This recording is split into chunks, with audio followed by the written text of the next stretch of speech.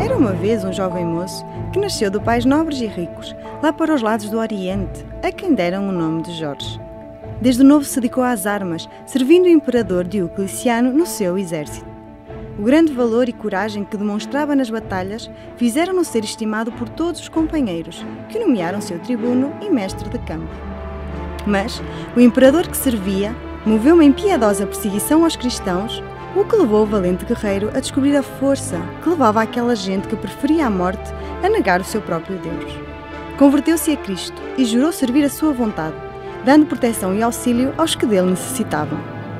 Andava um dia São Jorge nas terras da Líbia quando escutou um grito horrendo e desesperado. Acorreu o jovem guerreiro àquele apelo de ajuda. Quando chegou junto do local, de onde viera o grito, deparou-se com um terrível animal e uma jovem donzela. Era esse monstro, um enorme dragão que tentava devorar a jovem. São Jorge não hesitou um segundo e, avançando de lança em punho, feriu de morte a fera assassina. Perante tal ato de bravura, a jovem, que São Jorge vem a saber ser uma princesa filha do rei da Líbia, impressionada pela heroicidade do cavaleiro, descobre a fé do santo, vindo também ela a converter-se. Muitos foram ainda os feitos deste santo guerreiro, desejoso de vencer o mal e fazer reinar o bem.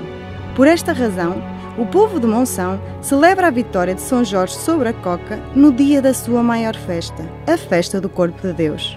Assim, celebram a luta contra o mal e o triunfo do bem.